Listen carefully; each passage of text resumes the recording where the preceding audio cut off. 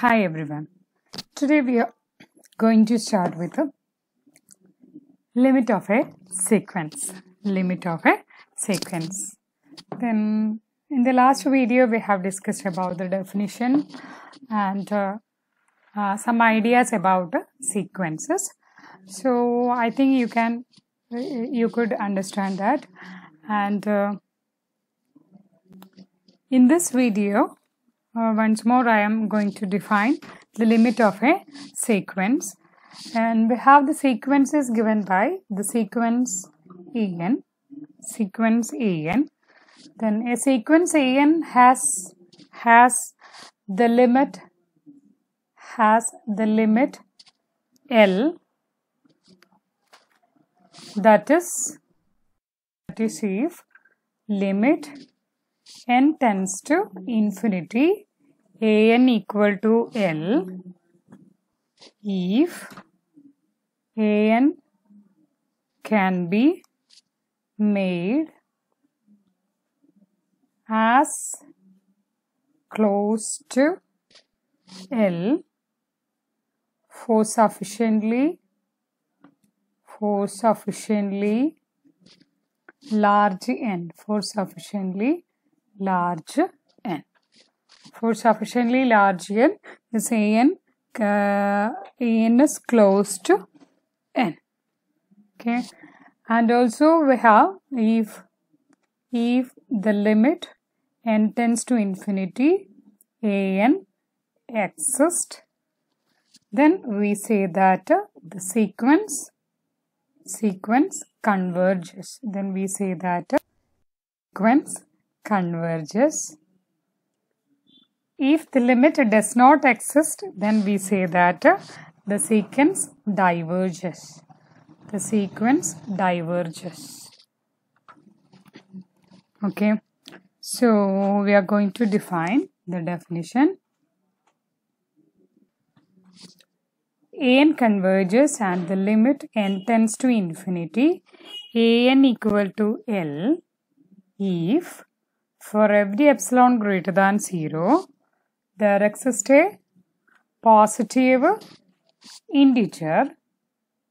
Positive integer n such that mod an minus l is less than epsilon whenever whenever n is greater than capital. Whenever small n is greater than capital N, we say that the limit exists implies for every if if if the limit exists if for every epsilon greater than 0 epsilon is arbitrary is a positive number. There exists a positive integer capital N such that distance between this an and l is very small. For sufficiently large n. Okay?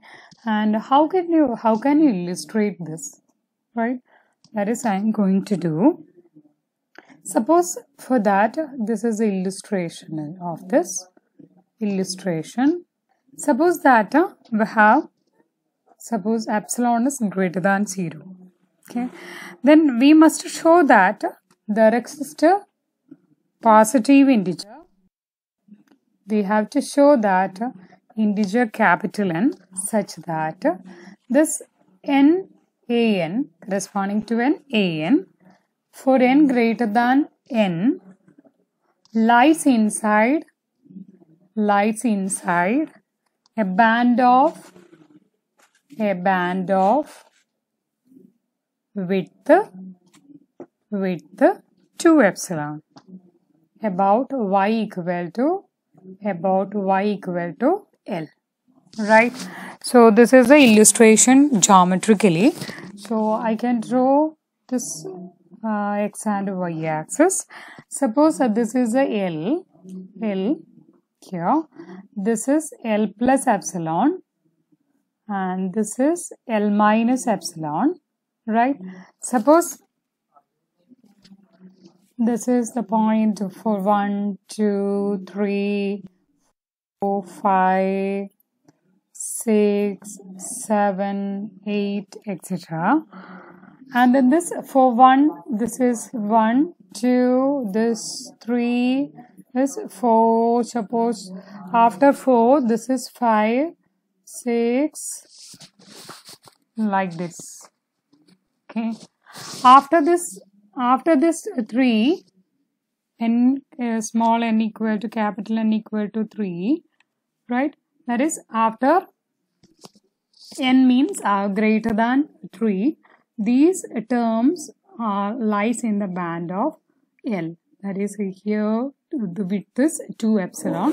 So which lies in the band of L right this is a meaning actually. So when we are choosing an epsilon sufficiently small and we can choose sufficiently large and such that uh, a infinite number of after a capital N stage after 3 here all the terms are all the terms are goes to the band go inside all the all the terms lies inside the bandwidth of L width of 2 epsilon of L right? So this is this is the meaning geometrically. So first theorem in this. First theorem theorem 1 we can see from the textbook itself. This is the theorem this is the definition. Limit of a sequence and this is the geometrical meaning of this. And next we are going to this is theorem 1 if the limit extending to infinity fx equal to L and an is a sequence defined by an equal to f where n is a positive integer then limit n tends to infinity an equal to L. The meaning is eh, fx as x tending to infinity which is equal to L. If an is a sequence defined by an equal to f of n where n is a positive integer then limit n tends to infinity an equal to L. Okay, if an and fn are same then fn's limits is same as an limit. Right? So this is the uh, example corresponding to that. That is find limit find limit n tends to infinity 1 by n raised to r if r is greater than 0 if r is greater than 0 okay how will you do this? First of all, we have to take this is equal to f of x. This is 1 by x raised to r. When r tending to 0, this tends to 1 by infinity as x tending to infinity. That is, this tends to 0 as x tending to infinity. Okay. Therefore, limit n tends to infinity 1 by n raised to r equal to 0. By using the theorem 1, we can see that this is, the result is 0. Okay. And uh, also notice that uh, the converse of the theorem 1 is false. That is, if the limit is equal to 0, then limit of f of x need not imply the limit value. Okay that is this is a n pi is a sequence here and the term sine sine pi x so the limit extending to infinity sine pi x does not exist but the sequence consider this value and this uh, this limit is always is equal to as n tends to infinity this is equal to 0 limit of sine n pi as n tends to infinity is equal to 0 but the limit extending to infinity sine pi x does not exist. This is the this says that the converse of the theorem 1 is false. Okay, next is theorem 2. Limit laws for a sequence. Suppose that uh, limit n tends to infinity an equal to L and limit n tends to infinity bn equal to m and that c is a constant then limit n tends to infinity c a n equal to c into a. c is a constant. C into a n equal to c into limit of a n that's equal to l. So c into l. Then what will be the addition and subtraction corresponding to the sequences? Consider the two sequences. And what will be the result when they are adding and subtracting? Limit n tends to infinity. A n plus or minus b n is equal to l plus or minus m this is very easy actually. We have done these type of laws before. Okay. so next is the multiplication. Limit n tends to infinity a n into b n is equal to l into m. And also division. Division is l by m provided that what? This m must be not equal to 0 and the power rule n raised to p is equal to n raised to p for p if p greater than 0 and n is greater than 0 okay so these are the laws for sequences. Okay next is the problem related to these laws. First law is first problem is determine whether the sequence converges or diverges n by n plus 1 second one is minus 1 raised to n.